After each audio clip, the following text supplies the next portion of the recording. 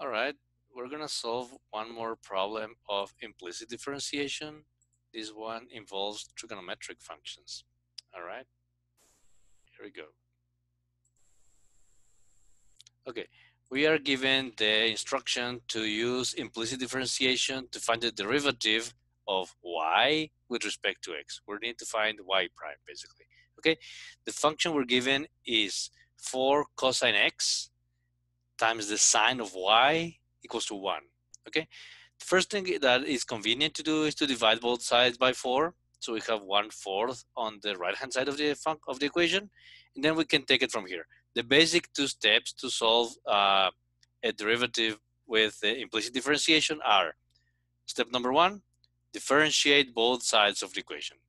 Step number two, solve for y prime, right? So let's do it. When we differentiate uh, the product, here, this is a product of two functions, function cosine x and function sine of y.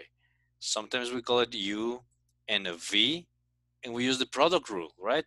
The product rule says that we take the first function times the derivative of the second function plus, because it's a product, the second function times the derivative of the first function. Okay, cosine is cosine, but when we differentiate sine of y, it's important to note that the derivative of sine of y is cosine y times y prime because y is a function and we have to write the derivative of y with respect to x, which is y prime, right? And then the derivative, sine is sine, sine y, you leave it.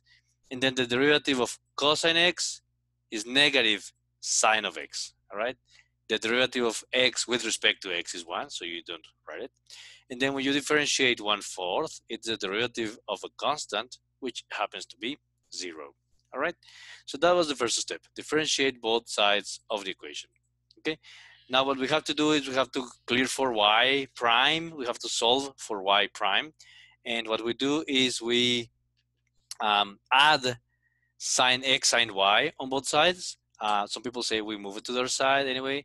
Um, just do your algebra and you're gonna have this. Um, cosine x times cosine y times y prime is equal to sine x sine y, okay? Um, you can, one way to see it is that it was negative here, product of sine x sine y was negative, and you write it positive on the other side. That's one way to see it, okay? And uh, finally, if we want to solve for y prime, you divide both sides by cosine x cosine y. And this is a pretty decent result, but it is always very nice to simplify in this case, we can simplify with uh, trigonometric identities. Um, the identity we're going to use uh, is the identity that says that sine over cosine is equal to tangent. So sine x over cosine x becomes tangent of x. And then sine y over cosine y becomes tangent of y.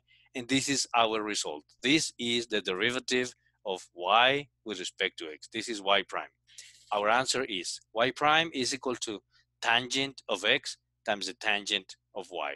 Okay, that is the answer. And uh, we're just gonna review really quick the two steps that we used. Step one is we differentiate both sides of the equation with respect to x. In this case, we use the product rule and the derivative of a constant, okay? And then the other step is to um, solve for y, solve for y prime, right? And then when you solve for y prime, you have your answer, okay?